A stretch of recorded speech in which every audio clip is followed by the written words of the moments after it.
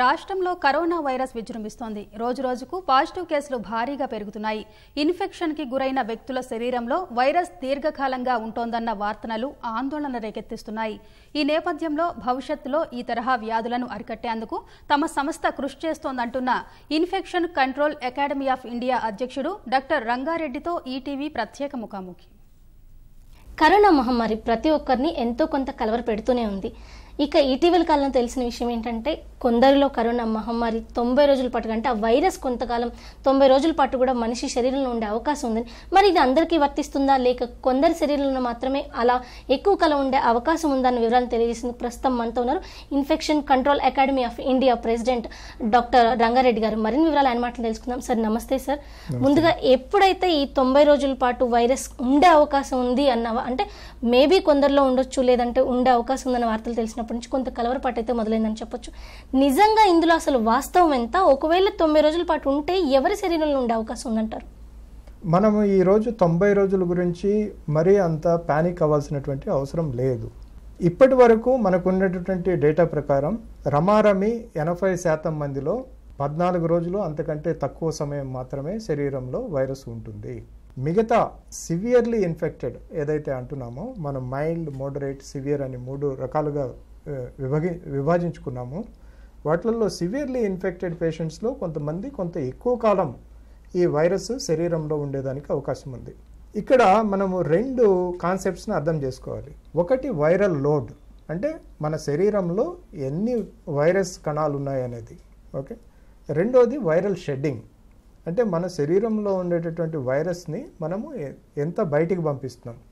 అది తుమ్ము రూపంలో కానీ మనం మాట్లాడేటప్పుడు కానీ లేకపోతే ఫీకల్ మ్యాటర్స్ ద్వారా కానీ మనం ఎంత షెడ్ చేస్తున్నాం? ఎంత షెడ్ చేస్తున్నాం అనే దాన్ని బట్టే మనం వేరే వాళ్ళకి ఇన్ఫెక్షన్ ట్రాన్స్మిట్ చేస్తామా లేదా అనేటు ఆధారపడి ఉంటుంది. కాబట్టి ఈ తొంభై రోజుల గురించి తీవ్రమైనటువంటి ఆందోళన చెందాల్సిన అవసరం లేదు. అయితే సాధారణంగా వైరస్ ఎఫెక్ట్ అయిన ప్రాంతంలో ఒక వ్యక్తి ఎంత సమయం ఉంటే వాళ్ళకి తిరిగి వైరస్ ఎఫెక్ట్ అయ్యే అవకాశం ఉందంటారు ఎందుకంటే కొన్నిసార్లు మనం చూస్తున్నాం హాస్పిటల్లోకి వెళ్ళి వచ్చిన ఆ హాస్పిటల్లో ట్రీట్మెంట్ తీసుకునే వాళ్ళు ఉన్నా ఎవరికి పాజిటివ్ రావడం లేదు. అలాగే కొందరు మాత్రం ఒక పది నిమిషాలు పావు గంట వెళ్ళినా కానీ ఆ ప్రాంతానికి ఎఫెక్ట్ అవుతున్నారు. అంటే ఇదేనా టైం బాగుంటుందా ఇంత టైం ఉంటే ఒకవేళ ఎఫెక్ట్ అయ్యే ఛాన్సెస్ పెరిగే అవకాశం ఉందనుకోవడానికి తప్పనిసరిగా. ఇది చాలా మంచి ప్రశ్న. ఏ, చాలా మందికి ఈ ప్రశ్న ఉదయిస్తూనే ఉంటుంది. ఏంటంటే ఎంతసేపు మనం ఎక్స్పోజ్ అయితే మనకి ఇన్ఫెక్షన్ వచ్చేదానికి అవకాశం ఉంది. ఒకటి మన మనం ఎవరి దగ్గరికి అయితే వెళ్ళామో ఒక ఇన్ఫెక్షియస్ పేషెంట్ దగ్గరికి వెళ్ళామో వాళ్ళు ఎంత షెడ్ చేస్తున్నారు అనేది ఒక ప్రధానమైనటువంటి పారామీటర్. వాళ్ళు మనము మనము ఏమైనా ప్రికాషన్స్ తీసుకున్నామా లేదా ఈ ప్రికాషన్స్ తీసుకుంటే ఏ రకమైన ప్రికాషన్స్ తీసుకున్నాము రైట్? దీన్ని బట్టి ఆధారపడి ఉంటుంది. ఇంతకు ముందు వచ్చినటువంటి కరోనా వైరస్ ఎపిడమిక్స్ ఏదైతే ఉన్నాయో సార్స్ కానీ మెర్స్ కానీ దాని దృష్టిలో పెట్టుకుంటే ఇది చాలా హైలీ కంటాజియస్ అనేది మాత్రం నిజం. సో ఈ హైలీ కంటాజియస్ ఇన్ఫెక్షన్ కాబట్టి ఎక్కడైతే ఈ ప్రమాదం పొంచి ఉందో అక్కడ మనము స్వీయ రక్షణ అనేది కంపల్సరీ పాటించాలి. అయితే కొందరిలో మనం చూసినట్లయితే రీసెంట్గా నాకు తెలిసిన ఒక కేసులో టూ మంత్స్ తర్వాత మళ్ళీ వాళ్ళకి ఎఫెక్ట్ అవ్వడం అంటే ఇది రీఇన్ఫెక్షన్ కింద తీసుకోవచ్చు అంటారా? లేదంటే సెకండరీ ఇన్ఫెక్షన్ కింద ఇలాంటి కేసెస్ని కన్సిడర్ చేస్తున్నట్టు పరిస్థితులు ఉన్నాయా? అంటే ఇప్పుడు మనకు ఆల్రెడీ న్యూస్ వస్తూ ఉంది. మొదట సౌత్ కొరియాలో జరిగింది తర్వాత చైనాలో అలాగే యూరోప్లో ఈరోజు కొన్ని రిపోర్ట్స్ వచ్చాయి. అలాగే మనకి ఇండియా వరకు కనుక గమనించుకునేటట్టయితే ఢిల్లీలో ముంబైలో కొన్ని రీఇన్ఫెక్షన్ కేసెస్ రిపోర్ట్ చేయటం అనేది వాస్తవం. కానీ ఆ కేసెస్ ఏదైతే మనం రిపోర్ట్ చేస్తున్నామో వాటి శాతం అనేది చాలా చాలా తక్కువ.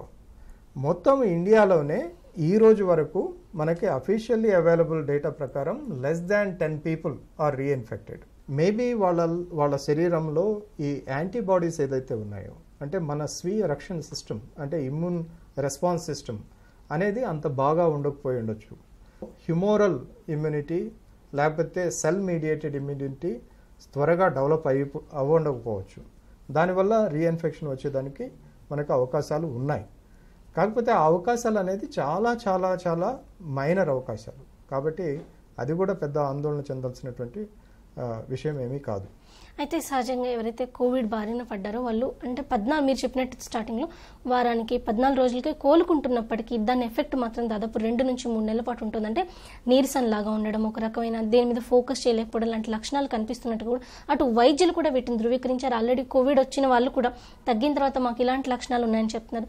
దీన్ని ఎలా పరిగణించవచ్చు అంటారు? అంటే ఇప్పుడు ప్రతి ఒక్క మైక్రో ఆర్గానిజం దాని తీరు అంటే మనల్ని ఇన్ఫెక్ట్ చేసే తీరు కానీ మన శరీరంలో మార్పులు తెచ్చేటటువంటి విధానం కానీ ప్రతి వైరస్కి అది వేరియేషన్ ఉంటుంది. ఇంతకు ముందు ఉన్నటువంటి వైరస్లు H one one N one కానీ లేకపోతే సార్స్ కానీ మెర్స్ కానీ మిగతా వైరసెస్లో మనం సాధారణంగా ఒకసారి దాని నుంచి కోలుకున్న తర్వాత చాలా తక్కువ సమయంలోనే మనం సాధారణమైన జీవితాన్ని గడపడానికి అవకాశాలు ఉన్నాయి.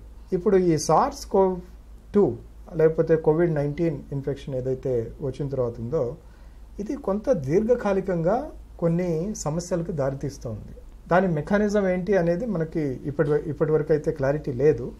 బట్ డెఫినెట్లీ మనం మార్చ్లో ఎప్పుడైతే మనం పాండమిక్ డిక్లేర్ చేసి ఫస్ట్ వేవ్ ఎవరైతే ఇన్ఫెక్ట్ అయ్యారో ఇప్పుడు వాళ్ళల్లో కొంతమంది మీరు చెప్పినటువంటి లక్షణాలతోటి మళ్ళీ హాస్పిటల్స్కి వస్తున్నారు. ముఖ్యంగా వాళ్ళల్లో గమనించేది రెండు మూడు రకాలైనటువంటి సిమ్టమ్స్ ఒకటి ఫిటిగ్ అంటే అలసిపోవటం. చాలా తొందరగా వీళ్ళు అలసిపోవటం జరుగుతూ ఉంది రెండోది మానసిక సంబంధమైనటువంటి సమస్యలు ముఖ్యంగా యాంగ్జైటీ అంటే వాళ్ళు చాలా ఒత్తిడికి ఆందోళనకి గురవటం అనేది రెండోది. మూడోది బాడీ ఏక్స్ లేకపోతే కఫ్ ఇలాంటివి కూడా మనం గమనిస్తూ ఉన్నాం. వీటికి నేను అనుకోవటం మళ్ళీ ఇంకొకసారి వాళ్ళకి కోవిడ్ నైన్టీన్ ట్రీట్మెంట్ ఇవ్వాల్సినటువంటి అవసరం లేదు. ఎందుకంటే ఇవి కోవిడ్కి సంబంధించినటువంటి వ్యాధికి సంబంధించినటువంటి సైడ్ ఎఫెక్ట్స్ మాత్రమే. కాబట్టి మళ్ళీ మనం కోవిడ్ నైన్టీన్ని ట్రీట్ చేయాల్సినటువంటి అవసరం లేదు. శరీరంలో మనకి ఏ భాగం అయితే దీంతో ఎఫెక్ట్ అయిందో దాన్ని మనం ట్రీట్ చేయాల్సినటువంటి అవసరం ఉంది. సాధారణంగా ఈ వైరస్ మన లంగ్స్ మీద ఎక్కువగా ఎఫెక్ట్ చూపిస్తుంది అనేది మనకు తెలిసిన విషయం. మొదటి నుంచి దాని గురించి భారీగానే చర్చలు నడుస్తున్నాయి. అయితే శరీరంలోని ఏ ఇతర భాగాల మీద దీని ఎఫెక్ట్ ఎక్కువగా ఉండే అవకాశం ఉందంటారు? ఇప్పుడు లంగ్స్తో పాటు అంటే ఊపిరితిత్తులతో పాటు మనకి second most impacted is gastro intestinals అంటే మన జీర్ణ వ్యవస్థ. ఈ జీర్ణ వ్యవస్థ మనకి అస్తవ్యస్తం అవుతూ ఉంది ఏది కోవిడ్ నైన్టీన్ సందర్భంగా. దీనివల్ల మనము చాలామంది పేషెంట్స్లో డయేరియా కానీ లేకపోతే గ్యాస్ట్రిక్ డిస్టర్బెన్సెస్ కానీ ఇవి చాలా సాధారణంగా చూస్తూ ఉన్నాం ఈ పేషెంట్స్లో. అయితే ఇటీవలి కాలంలో గమనించింది ఏంటంటే చాలా మందిలో అంటే తక్కువ లక్షణాలు మైల్డ్ మోడరేట్ సిమ్టమ్స్ ఉన్న వాళ్ళలోనే ఎక్కువ పాజిటివ్ వస్తుంది. ఈ నేపథ్యంలో ఏం చేస్తున్నారంటే మనం బయట చూస్తున్నప్పుడు తెలిసిన డేటా ప్రకారం చాలా వరకు కూడా ఈ హోమ్ ఐసోలేషన్ తీసుకున్న వాళ్ళు ఆల్రెడీ కోవిడ్ వచ్చి తగిన తమ స్నేహితుల ద్వారానో లేదంటే తెలిసిన వాళ్ళ ద్వారా ఆ మెడిసిన్కి సంబంధించిన ప్రిస్క్రిప్షన్స్ తీసుకుని అవే మందులు వాడుతున్నట్టుగా కూడా తెలుస్తుంది. సాధారణంగా ఒకే వ్యాధి ఇద్దరికి వచ్చినా దాని ట్రీట్మెంట్ అనేది వేరుగా ఉంటుంది. ఇది ఈ పరిస్థితి వల్ల వాళ్ళలో అంటే ఎవరైతే డాక్టర్ కన్సల్టేషన్ లేకపోవడం ఈవెన్ మన గవర్నమెంట్ కూడా ఒకే అంటే విటమిన్స్ ఇస్తున్నారు హెచ్సిక్యూ ఇస్తున్నారు అదేవిధంగా కొన్ని అజిత్రోమైసిన్ లాంటి టాబ్లెట్స్ ఇస్తున్నారు. ప్రతి వ్యక్తికి ఒకేలాంటి మందులు ఎంతవరకు ఉపయోగకరం అంటే దీనివల్ల అంటే సైడ్ ఎఫెక్ట్స్ కొందరిలో వచ్చే అవకాశం ఉందంటారా? తప్పనిసరిగమ్మా ఎందుకంటే మీరు చెప్పింది చాలా కరెక్ట్. ప్రతి వ్యక్తి అనేది ఒక ఇండివిజువల్ ఆర్గానిజం. వాళ్ళల్లో ఉండేటటువంటి సిస్టమ్స్ కానీ వాళ్ళల్లో ఉండేటటువంటి ప్రాసెస్ కానీ చాలా డిఫర్ అవుతాయి. అందువల్లే మనకి ఏదైనా వ్యాధి వచ్చినప్పుడు ఈ కోవిడ్ నైన్టీనే కాదు ఏ వ్యాధి వచ్చినా కానీ తప్పనిసరిగా డాక్టర్ని కన్సల్ట్ చేసి మీ శరీర తత్వానికి తగినటువంటి మందులు తీసుకోవాల్సినటువంటి అవసరం ఎంతైనా ఉంది. ఇప్పుడు ఆల్రెడీ కొంచెం పరిస్థితి స్టెబిలైజ్ అయింది కాబట్టి హాస్పిటల్స్లో డాక్టర్లు అవైలబుల్ ఉన్నారు క్లినిక్స్ ఓపెన్ అయ్యాయి కాబట్టి తప్పనిసరిగా డాక్టర్ సలహా తీసుకొని మీ శరీర తత్వానికి తగ్గట్టు ట్రీట్మెంట్ తీసుకోవటం అనేది చాలా చేయాల్సినటువంటి పని.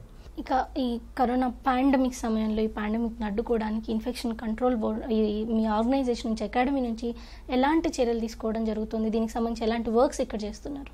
మేము లక్ష్యంగా పెట్టుకుంది ఏంటంటే రెండు వేల ఇరవై మూడు లోపల ఒక యాభై వేల మంది డాక్టర్స్ కానీ నర్సెస్ కానీ కమ్యూనిటీ వర్కర్స్ కానీ వీళ్ళని ట్రైన్ చేసి ముందు ముందు రాబో రాబోయేటటువంటి ఉపద్రవాలు అంటే పాండమిక్స్ కానీ ఎపిడమిక్స్ కానీ అవుట్ బ్రేక్స్ కానీ వాటిని ఎఫెక్టివ్గా డీల్ చేయటానికి వాళ్ళని సన్నద్ధం చేయాలి అనే ఒక ముఖ్య ఉద్దేశంతో మేము దీన్ని ప్రారంభించాం. కాకపోతే రెండు వేల పంతొమ్మిది వరకు మేము చేస్తున్నటువంటి కార్యక్రమాలకి పెద్ద ఆశావాహకంగా జనాల నుంచి రెస్పాన్స్ రాలేదు. ఎందుకంటే ఈ ఇన్ఫెక్షన్ కంట్రోల్ ఏముంది ప్రివెన్షన్ ఏముంది అనుకునేటటువంటి పరిస్థితి. ఎప్పుడు ఇలాంటి అవుట్ బ్రేక్ చూడలేదు కాబట్టి. ఎప్పుడు ఇలా చూడలేదు కాబట్టి.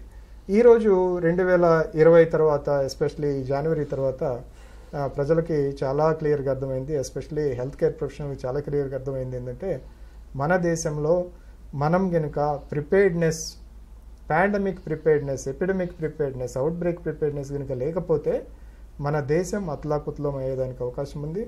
మనము ఆరోగ్యపరంగానే కాకుండా ఆర్థిక పరంగా కూడా వెనకపడేదానికి అవకాశం ఉంది కాబట్టి దీన్ని తప్పనిసరిగా నేర్చుకోవాలని చాలా ముందుకు వస్తున్నారు చాలామంది ముందుకు వస్తున్నారు.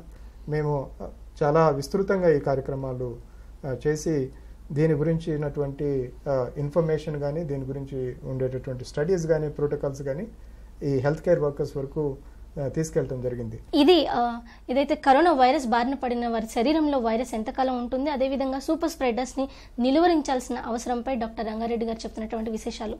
కెమెరా పర్సన్ నిరంజన్తో రమ్య ఇటీవీ న్యూస్ హైదరాబాద్.